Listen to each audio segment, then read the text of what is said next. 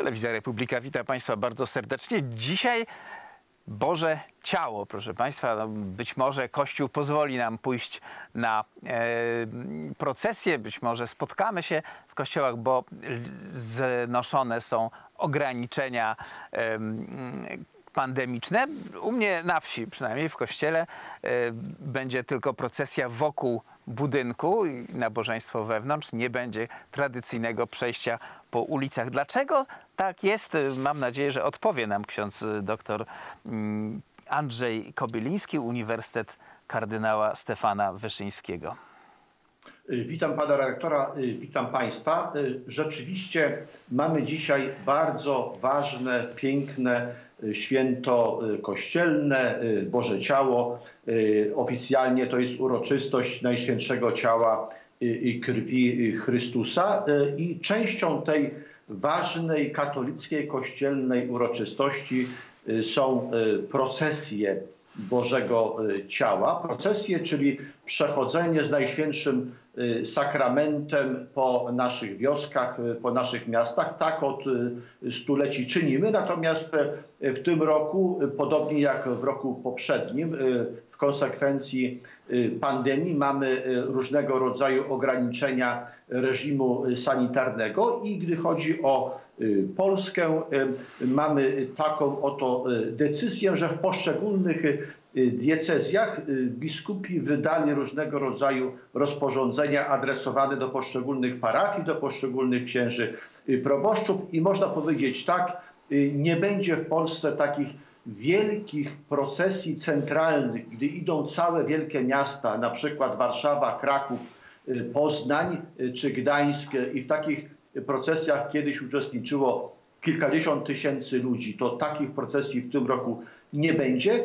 Natomiast będą w mniejszym zakresie procesje, na przykład wokół świątyni, na terenie przykościelnym, czy jeśli są jakieś mniejsze wioski czy mniejsze miasteczka, to być może będą też procesje po ulicach w pobliżu kościoła. O tym decydują w ramach poszczególnych diecezji biskupi, a gdy chodzi o parafię, takie decyzje podejmują proboszczowie chodzi o to, czy procesję zrobić, czy nie i w jakim wymiarze. Ksiądz się na pewno spotkał, ksiądz profesor, z tym, że mm, uroczystości kościelne, msze są od y, niedawna takim centrum zainteresowania mediów opozycyjnych, liberalnych. Przychodzą tam redaktorzy, spisują ile osób w maseczkach, ile bez, jak długo mówił ksiądz, a czy siedzieli obok siebie, czy może, czy może w odstępach.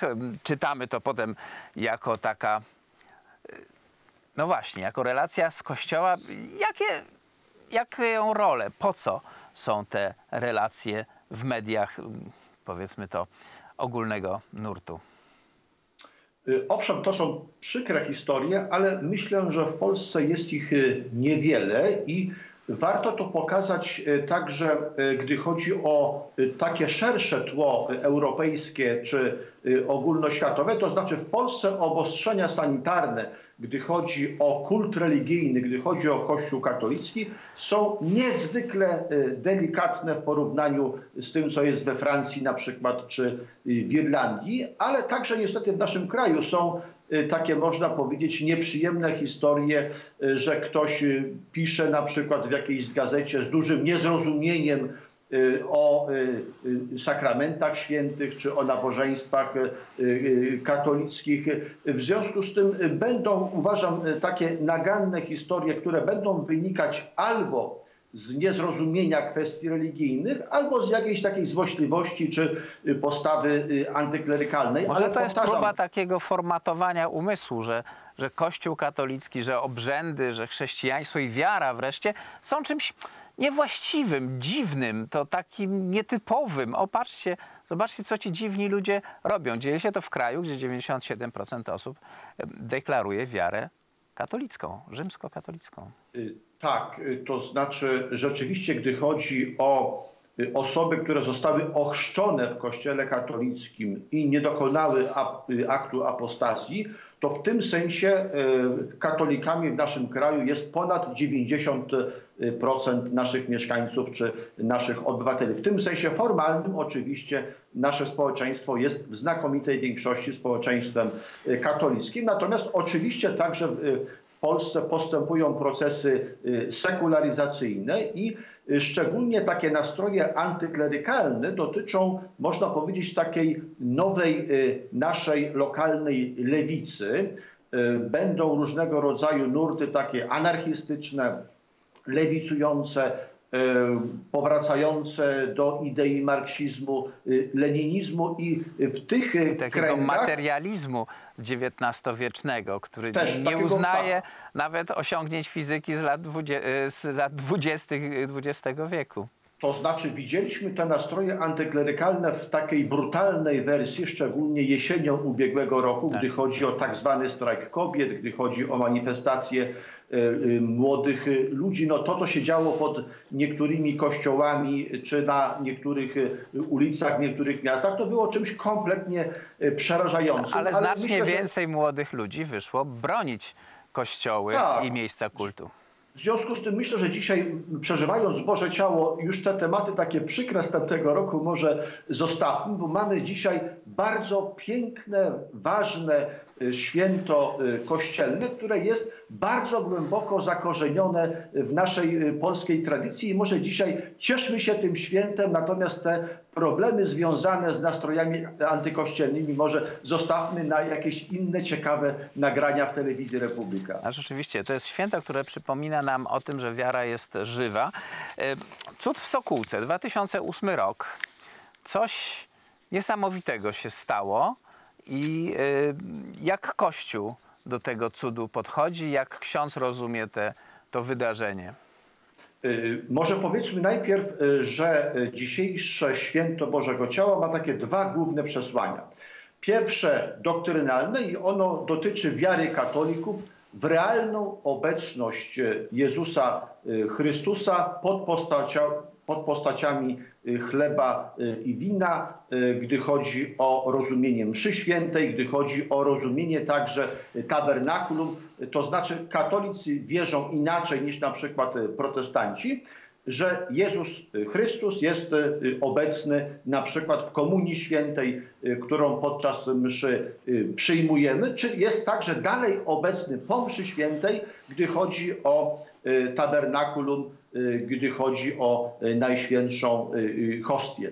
W związku z tym poprzez y, świętowanie Bożego Ciała katolicy sobie i innym przypominają niezwykle istotną, ważną prawdę wiary dotyczącą mszy świętej, Eucharystii, obecności Jezusa Chrystusa w sakramencie y, Eucharystii. To jest pierwsze znaczenie tego święta. Natomiast y, drugie znaczenie dzisiejszego święta y, Bożego Ciała to jest publiczna funkcja religii, to znaczy prawo do manifestowania swoich przekonań religijnych także poza zakrystią, poza y, przestrzenią świątyni czy y, budynku sakralnego. I stąd właśnie te y, procesje, to znaczy manifestowanie swojej wiary i prośba o to, aby Bóg błogosławił rodziny, wioski, miasta, żeby Bóg był czczony nie tylko w obrębie świątyni czy nabożeństw, ale także, żeby Bóg był obecny i żeby był wysławiany przez ludzi wierzących, y, także y, gdy chodzi o gospodarstwa, domy, nasze wioski i nasze miasta. I teraz pytanie pana redaktora, gdy chodzi o y, cud eucharystyczny, gdy chodzi o Sokółkę. Otóż na przestrzeni wielu ostatnich stuleci miały miejsce różne y, wydarzenia cudowne, nazywane cudami eucharystycznymi. Cud eucharystyczny to jest zdarzenie niewytłumaczalne naukowo czy rozumowo, y, w trakcie y, którego, gdy sprawujemy mszę świętą, Jezus Chrystus staje się widzialny naszym zmysłom, gdy chodzi o hostię, to znaczy w tym chlebie hostii komunikantach dzieje się coś nagle y, dziwnego, że na przykład pojawia się y, krew, y, że na przykład hostia biała staje się hostią częściowo czerwoną, bądź korporał, czyli to białe płótno, które leży na ołtarzu, i na którym kładzie się hostię, nagle na przykład staje się czerwone albo pojawia się kropla krwi i zabarwia korporał. Czyli takie bardzo widzialne znaki, które potwierdzają realną obecność Jezusa Chrystusa, gdy chodzi o mszę świętą, gdy chodzi o y, komunię świętą i właśnie gdy chodzi o Polskę, y, takie zdarzenie y, nadzwyczajne, do końca niewytłumaczone i jeszcze niezbadane, y, to jest y, Sokółka. Dla wielu katolików Sokółka to jest miejsce cudu eucharystycznego, ale ta sprawa jest do końca jeszcze niewyjaśniona, w związku z tym będą katolicy, którzy głęboko w to wierzą i będą też katolicy, którzy mają tutaj jeszcze wiele pytań. Tutaj Kościół katolicki z taką rezerwą podchodzi do tego typu objawień i do tego typu e, informacji. No właśnie, mówi tak jak ksiądz, że sprawa jest badana i jak zostanie zbadana, to wtedy e, powiemy coś oficjalnie. Dlaczego? Skąd ta rezerwa? Y, Ponieważ gdy chodzi o przekonania religijne, gdy chodzi o doświadczenia religijne, panie redaktorze, to bardzo często one mogą mieć charakter fałszywy. To znaczy, bardzo wielu ludzi ma przeróżne wizje mistyczne, słyszy rzekomo głos Matki Najświętszej, y, czy Jezusa Chrystusa, czy, czy, czy Ducha Świętego, y, a będą to y, bardzo często zjawiska kompletnie fałszywe, nie mające żadnego, żadnej podstawy w rzeczy. To znaczy, może to być iluzja, może to być błąd poznawczy, może to być zaburzenie psychiczne, może to być choroba psychiczna. Y, W związku z tym trzeba odróżnić fałszywe wizje mistyczne od tych, które są realne i zyskują potwierdzenie także filozoficzne, teologiczne y, czy naukowe. I ta ostrożność Kościoła katolickiego, gdy chodzi o badanie zjawisk nadzwyczajnych, jest uważam czymś niezwykle cennym i osobiście uważam, że trzeba y, tej y, takiej ostrożności bardzo bronić, żeby nie prowadzić do kompromitacji religii, żeby nie przyjmować za prawdę czegoś, co jest kompletnie fałszywe. Ci, którzy krytykują Kościół katolicki, no, mówiliśmy o nich e, pokrótce, pokazali się w dużej ilości rzeczywiście jesienią ubiegłego roku. Nie zdawaliśmy sobie sprawy, że jest tyle osób na przykład chętnych, by zaatakować werbalnie, ale też fizycznie księży. To jest nowe zjawisko w Polsce. Uważają, że ta cała wiara to są gusła, gipsowe figurki i tyle. My wiemy, że tak nie jest, że Chrystus rzeczywiście zmienia życie każdego z nas. E, Ale też to, że możemy wyjść na ulicę, zademonstrować swoją wiarę, również tym, którzy nie wierzą, jest bardzo silnym e, takim bodźcem, przyciągającym, budzącym zainteresowanie. I pytanie dla nas, czy wiara możliwa jest bez e, uczestnictwa we mszy świętej, bez uczestnictwa w obrzędach? Każda religia ma ten wymiar, można powiedzieć, em, praktyczny, y, obrzędowy, kultyczny. Nie ma religii bez kultu i to wiemy od starożytności. I także chrześcijaństwo y, w tej warstwie nie różni się od innych religii. Także gdy chodzi o katolicyzm, niezwykle istotną częścią wiary katolickiej y, jest z jednej strony zachowywanie Bożych przykazań, czyli kwestia życia moralnego, wprowadzanie wiary w czyn z jednej strony, a z drugiej będą to y, formy kultu, uczestnictwa we mszy świętej, obrzędów, oddawania czci Bogu także poprzez życie y, liturgiczne, ale tutaj bym właśnie, gdy chodzi o tę kwestię wyznawania wiary, panie redaktorze, ja bym y, po- y, podkreślił y, taki bardzo wzruszający element y, dzisiejszej uroczystości Bożego Ciała. Otóż, gdy się kończy msza święta w kościele i gdy się rozpoczyna procesja do y, czterech ołtarzy, y, przy których są czytane y, fragmenty y, czterech y, y, Ewangelii, to wówczas, gdy się zatrzymuje y, ten pochód ludzi, ten procesyjny pochód ludzi y, przy tych właśnie czterech ołtarzach, to są śpiewane y, suplikacje. Ja nie ukrywam, że od y, moich najwcześniejszych dziecinnych lat ten śpiew suplikacji zawsze mnie wzruszał do żywego. Czym są suplikacje? To jest e, forma takiego uroczystego, błagalnego śpiewu. E, To są prośby, to są modlitewne prośby e, zanoszone przez modlącą się e, wspólnotę e, i w ramach suplikacji śpiewamy e, święty, święty, święty e, a nieśmiertelny, zmiłuj się e, e, nad nami. E, I później dodajemy takie te trzy wezwania od powietrzu, głodu, wojn, e, głodu wojny i ognia. e, Wybaw nas, Panie, od nagłej i niespodziewanej śmierci zachowaj nas, Panie. My grzeszni Ciebie, Boga, prosimy, wysłuchaj nas, Panie. Proszę zauważyć, że w tym wezwaniu na początku suplikacji mówimy od powietrza.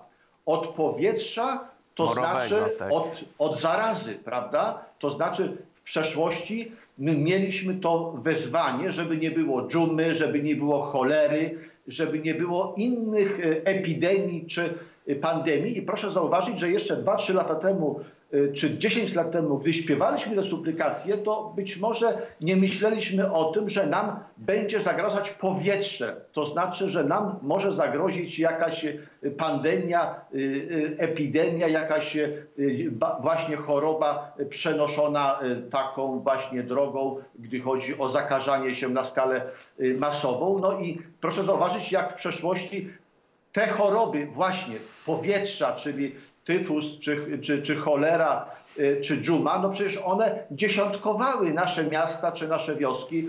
W wielu polskich miejscowościach mamy do dzisiaj y, y, cmentarze choleryczne. To znaczy na tych cmentarzach cholerycznych często po przejściu zarazy grzebano często tysiące, jeśli nie Pielgrzymka tysięcy warszawska, w której ciągle dziesiątki tysięcy osób biorą udział co roku, właśnie rozpoczęła się w podzięce za ustanie e, takiej zarazy. A jak ta zaraza, to powietrze, które teraz y, nad Polską przechodzi, miejmy nadzieję, że już jest koniec tego mm, okresu, chociaż nie wiadomo, jesień przed nami, wpłynęła na postawy religijne Polaków. No ksiądz jako praktyk, jako człowiek, który spotyka się z wiernymi, ma pewnie na ten temat ciekawe obserwacje. Y, Pierwsza y, y, obserwacja to jest taki sprawdzian naszej religijności, to znaczy osoby, które przed pandemią traktowały poważnie swoją wiarę, myślę, że w czasie pandemii jeszcze głębiej przylgnęły do Boga, do Kościoła, do swojego świata wiary, ponieważ zawsze taki czas próby, czas mierzenia się z cierpieniem, z bólem, y, ze śmiercią, to jest czas y, pogłębienia y, wiary i będzie w Polsce pewna część katolików, która wychodzi umocniona z tego okresu kilkunastu miesięcy pandemii.